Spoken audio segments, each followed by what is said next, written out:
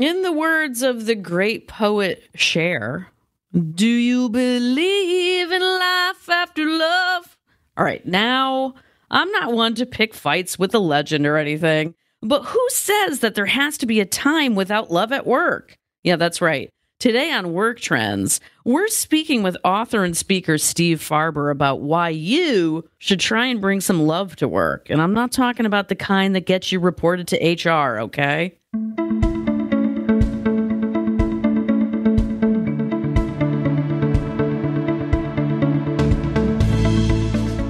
Welcome to the Work Trends podcast from Talent Culture. I'm your host, Meghan M. Biro.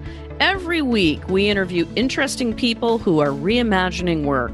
And join us on Twitter every Wednesday, 1.30 p.m. Eastern, using the hashtag WorkTrends. Today's Work Trends podcast is sponsored by Smart Search. Be sure to visit them at www.aps2k.com to learn more about their new version 21 interface and all the excitement it's creating in the old applicant tracking software space. Let's look at the news first.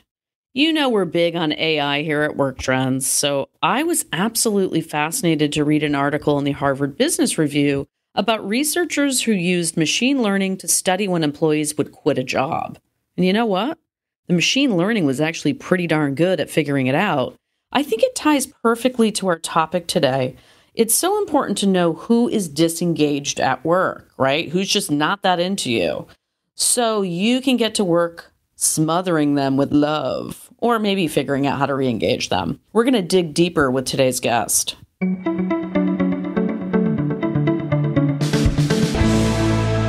Our guest today is Steve Farber. Steve's a speaker, a leadership coach, and an author whose newest book has just been released. It's called Get This Love is Just Damn Good Business.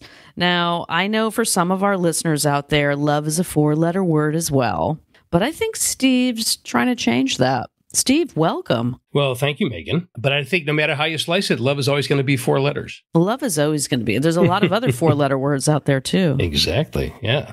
Where are you right now? Uh, I'm in San Diego.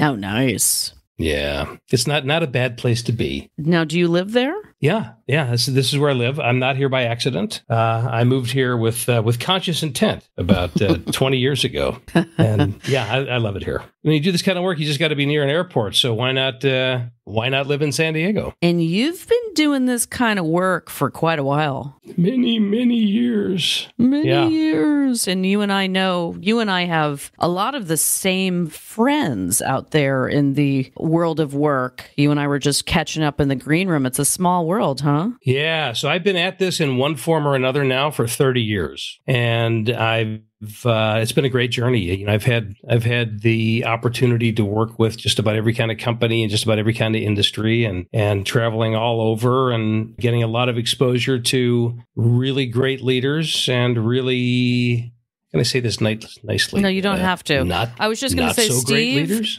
nice is also a four-letter word, and we can just take that off right now and, and just get real with each other. I mean, there's a lot of really crappy leaders out there, right? And we can learn as much, if not more, from them as we can from the great ones. Yes, we can. So, as I just mentioned, the title of your new book is Love is Just Damn Good Business. Love really isn't a word we associate with business, unfortunately. What do you mean by love being good business? Yeah, so love and business are not typically not words that you hear uttered in the same sentence, publicly anyway. But when you sit down one on one with executives and leaders and people that do you know really great work uh, you hear you actually do hear the word quite a bit. I don't know how many times i've had a scenario where you know i'll be sitting with uh, with an executive and i'll say yeah so tell me about your team. Oh i love them i love my team. They're fantastic. And then he or she will tell me why. And then i can ask the same question to the same person in a different context or in a different format like for example in public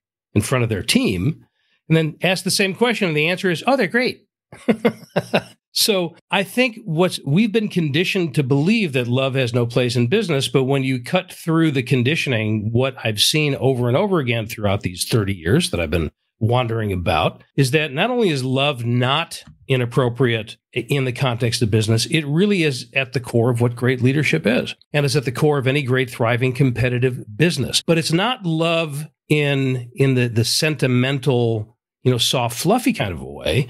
It's more in the lines of love as a business practice, as a discipline versus a you know a, a soft abstract feeling. That's the difference. That's the key. What does it look like in the way you do business? Is is the exploration that uh, that this book is about, and that my work has been about for quite some time. What made you decide to write a book about bringing love to the workplace? Question number one. Question number two: Is this your first book? Uh, no, this is my fourth book. That's what I thought. Yeah. So my first, I've been writing about this since my first book first came out in its first edition in 2004. Uh, so my first book was The Radical Leap, followed up by The Radical Edge, and then a book called Greater Than Yourself. So The Radical Leap presents a framework for for leadership, or what I call extreme leadership, which stands for love, energy, audacity, and proof. So I've been out there teaching this, writing about this, consulting on this basis for almost 20 years. But this book is the first time I slapped it on the cover.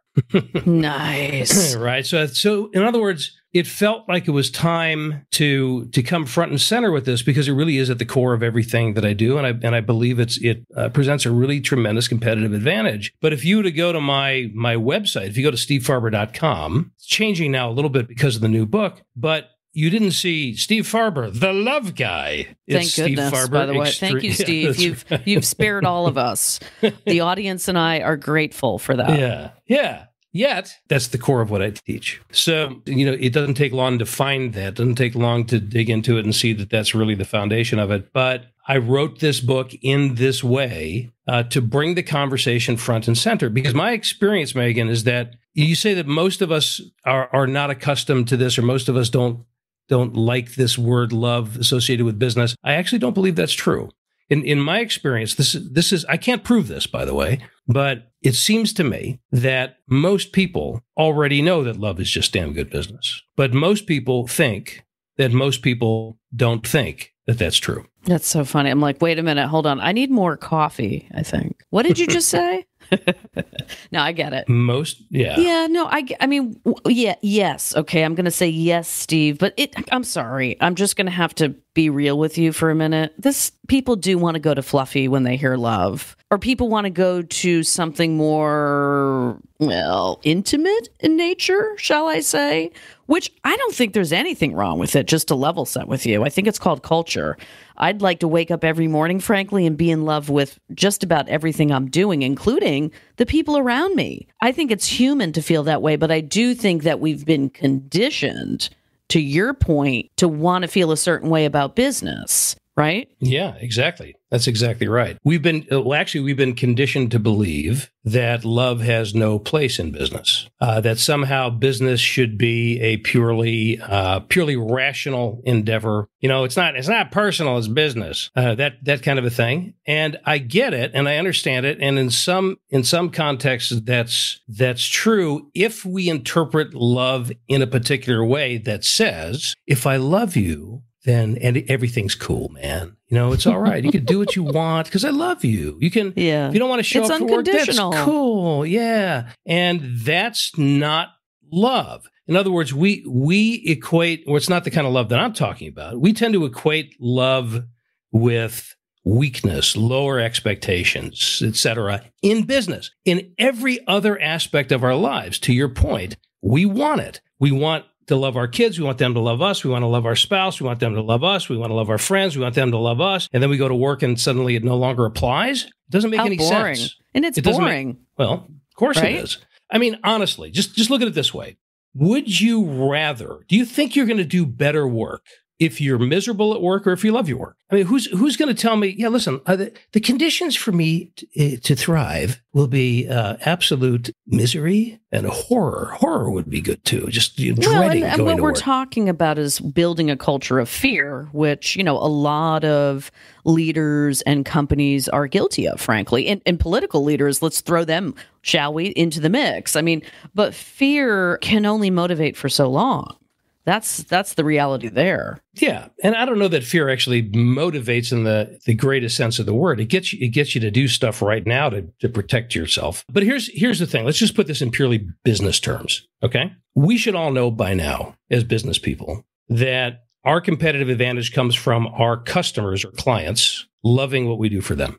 In other words, if they're, we should know by now that if they say they're satisfied with us, that's not enough. There's no competitive advantage that comes from satisfaction. So we want our customers to love our product or service, the experience of working with us. That's where the payoff comes from. That's where the money comes from. That's where the word of mouth comes from. That's where the loyalty comes from, et cetera. So we can we can all agree on that. So what I'm suggesting is that we need to back that up another couple of steps. In order for that to happen, in order to create an experience for customers that they're going to love in a meaningful and sustainable way over time, we have to create a culture that people love working in. That's the ideal scenario. If we can create a culture that people love working in, where the expectations are high and the standards are high, not only do we have a better chance of creating that experience for our customers, but we're going to attract and retain the best possible talent. Okay. I mean, Steve, this is all fine and dandy, but let's get tactical, shall we? What can leaders do to do this more in the workplace? For starts and then i've got some more questions. Yeah. So let's um i'll give you a specific example because the the the truth is there are thousands of ways to do this and it's a matter of putting our attention on it with you know again with conscious intent. So there's a there's a company that i've uh, been i've been telling their story quite a bit lately uh, because it's, it's such a great example that it's not a particularly sexy industry. There's a company in jacksonville florida called trailer bridge I'm sorry. I'm just like, I'm in a giggly mood, Steve. Trailer Bridge? Mm-hmm. I love it. I want to hear more, and I'm I'm being serious now. That's cool. I've I've you know I've said I've let me tell you this, Meghan. I have said the words trailer bridge many times because I tell really? the story a lot. Yeah, and trailer I've bridge. Never, I've never heard anybody giggle in response well, to the name of that company. You've finally like, met your match. That's hilarious. it is fun. Oh, come on. The places we can go with this. It's not like Goofy Zone. I mean, Goofy well, Zone would be. So anyway, Trailer Bridge is a shipping company, a shipping and logistics company. They're based in Jacksonville, Florida. Uh, so they ship containers of uh, stuff primarily from the mainland to Puerto Rico and Dominican Republic. Uh, they've been in business for 30 years, and their past is toxic, right?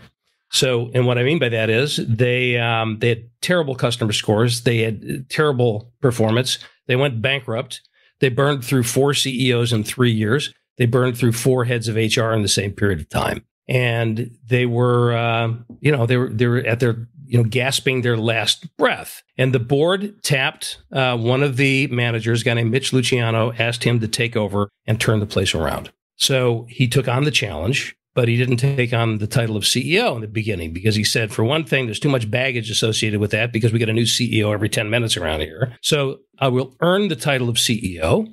I'll take the title of president.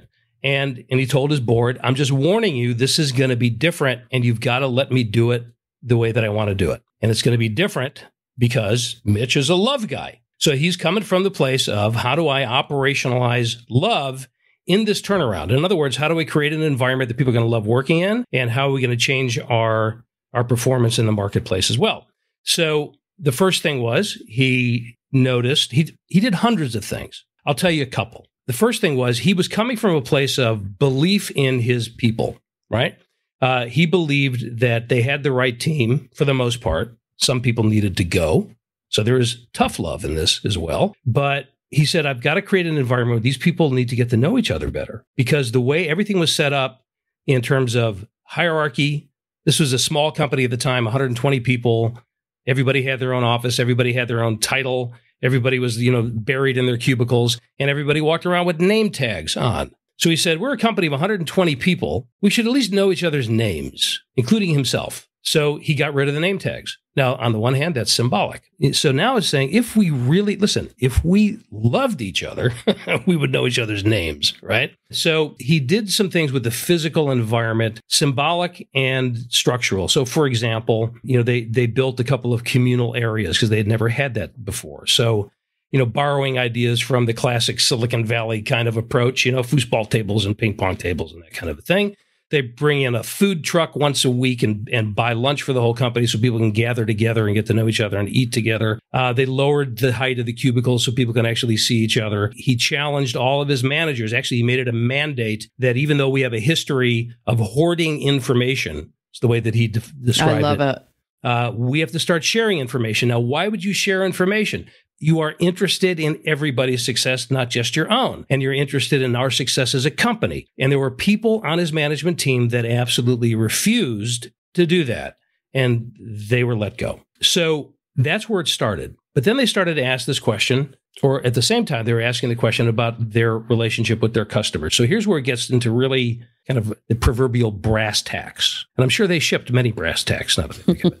Uh, but they looked at their customer policy and they had this long standing policy that said they would not ship a container. The container would not leave the dock until it was at least 75% full. Because if it was less than 75% full, they would lose money on that shipment. So think about that from the customer's perspective. Okay. You're shipping a car to Puerto Rico for your family. And you tell them it's going to be there on a particular date. And then the company tells you, no, it's not because we're not full enough. We couldn't get enough people to ship stuff on this container. So you're going to have to wait. So they looked at that, among other things, and they said, all right, let's ask this question. If we loved our customers, what would we do? And the answer, when you put it in that context, is pretty clear.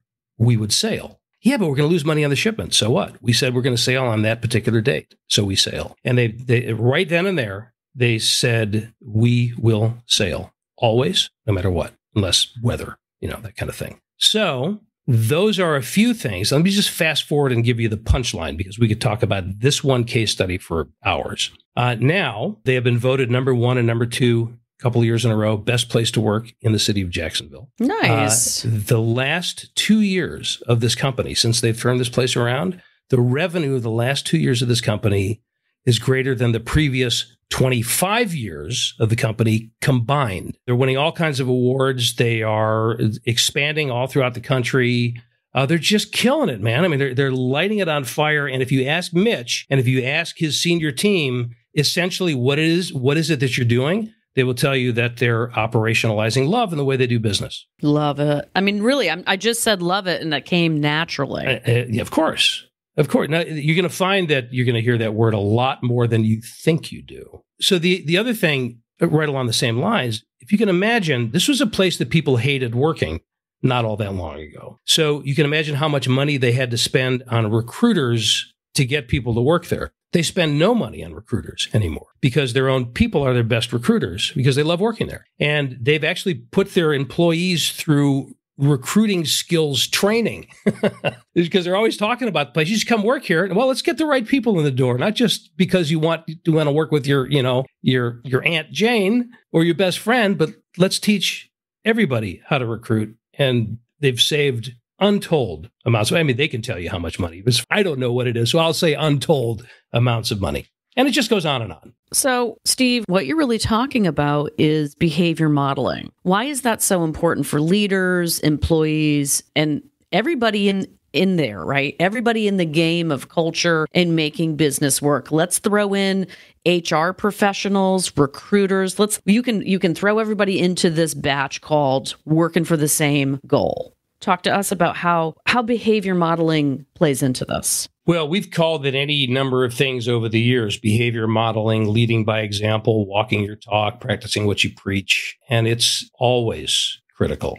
So, from a leadership perspective, so for example, if you look at, at Mitch at, at Trailer Bridge, it wasn't enough for him to go out there uh, on his first day as the de facto CEO and say, okay, we're all going to love each other now. You know, he had to demonstrate it, he had to model it. And one of the ways that he does that, he writes a personal, first of all, he had to learn everybody's names himself, right? I love the I love the whole name tag example. It's very simple, isn't it? It's so simple, right? And we we miss it. Why do we miss this humanity, right? So what the thing is when you when you start exploring this th- through the right question filter, which is how can I create an environment that people are going to love working in? It sets a higher standard It's a very different question from how do we engage people? How do we motivate people? It's, it's going to lead to the same place. Don't get me wrong. But asking the question, framing it up in that way raises the standards and the expectations and it brings out a different answer. So that's how he arrived at that. It seems so obvious once you hear it, but he had to model it himself. He had to learn their names. Uh, he sits down every, you know, every morning and looks at who's, who's got a birthday and he writes a personal birthday card. He will tell you that if somebody comes and knocks on his office door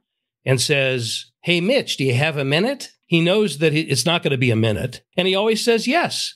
And he invites them in. He turns off his computer. He spins his chair around, looks at them across, you know, from chair to chair and says, Tell me what's up. It's things like that. It's our own personal example. And by the way, that's critical no matter what our position or title is. So it's critical coming from Mitch, who's the CEO in this case, who's turning the place around, but it's true for all of us, whether we're CEO or not. We have an influence on the culture around us. We have an influence on the culture of our team, on the culture of our project, whatever it might be. So if I want this place to be a certain way and this team to behave a certain way, then I've got to be the walking, talking, living, breathing example of exactly what I'm hoping other people will do.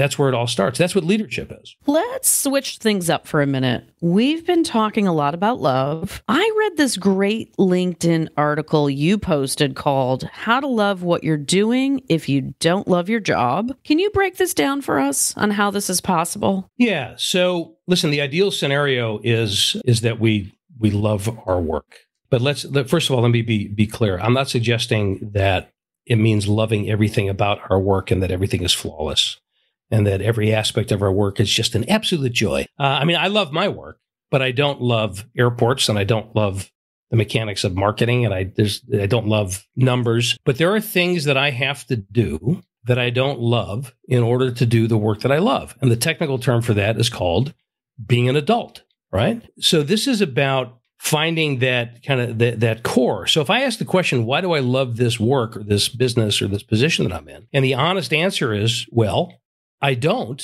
that's a valid answer. This isn't about pretending and putting on a happy face. It's about you know the buzzword of the day of course is authenticity for all the all the right reasons for all the buzzword people out there we're playing buzzword bingo today with steve right so authenticity is is is really at the core of all of this uh, so if you put it aside as a buzzword and think of it as a reality. This isn't about faking it. So a good question to ask. If if I ask the question, why do I love my work and I don't, I can ask a question this way. Well, what what do I love about it? Can I find something in this mix that I'm really passionate about? So maybe it's it's uh, maybe it's my team. Maybe it's the technology that I'm working with. Maybe it's it's this customer project that I'm on. And if I can put a little bit more attention on that and just, first of all, just acknowledge it, that's a good place to start. But then it gets into is there a way that I can more fully demonstrate that? So, why do I love this? I could be working, I'm just, you know, picking, picking a general scenario. So, I'm working on a project and I'm working on it for a particular client. And I really dig this client. I mean, I, I, love what they do. I think our solution can really help them. They're a pleasure to work with. So, allowing myself to acknowledge that feeling then brings me to the next question, which is how can I better show that? How can I better demonstrate that? Similar to what Trailer Bridge with their customers, that it changed their policy. Is there something that I could do in this project that's going to demonstrate that even more? So it's it's starting with what you have, and a, you know a, a really nice way to do that is just depending on how how deep in this you are, because it can feel very despairing. Where you know I'm looking around and going, I just can't find anything that I love about this place, and I'm, I'm miserable. The chances are that you're in the wrong place. That's possible. In which case, you know, a career move might be a good idea. But before you jump to that conclusion, it's really helpful just to take a few minutes and sit back and reflect on why you took this job to begin with. Was there something that that really tripped your trigger in the beginning that maybe you've lost sight of or it's dissipated over the years. For example, I see this a lot. I do a lot of work with educators, and I see this a lot with with teachers. They start teaching school because they love kids, and they and they have this uh, what's cynically referred to as starry-eyed idealism as to what as to what's possible.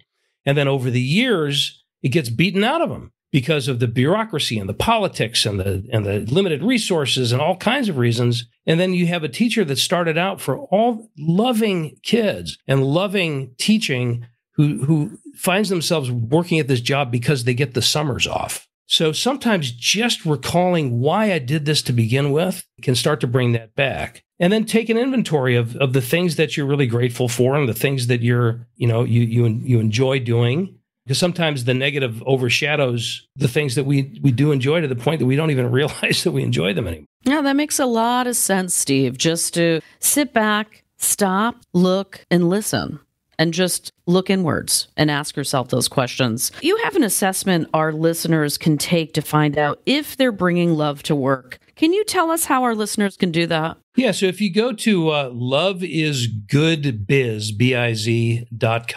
you'll see kind of an overview of, of the new book. And there is a, uh, a self-assessment on there that, and it's just, it's a starting point, right? So it's a reflection tool. So it's looking at the elements of LEAP that I mentioned earlier love, energy, audacity, and proof. We haven't broken down into more kind of behavioral behavioral descriptions and so forth. And it'll give you a sense of where you are and, and make some recommendations to you as to how to take that to the next level. So it's a good, yeah, it's a good reflection tool. It's a nice starting place. Well, listen, Steve Farber, thank you for showing us that there are four letter words out there that we can use at work. That's been my pleasure, Meghan. I really appreciate it.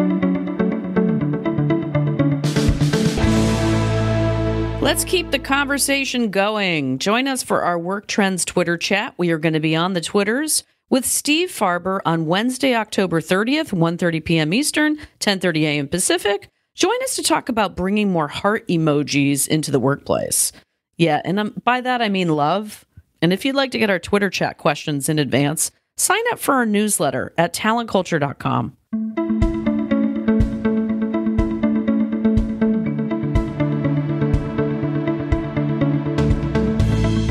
Thanks to listening to Work Trends from Talent Culture. Join us every Wednesday at 1:30 p.m. Eastern for a live Twitter chat with our podcast guest.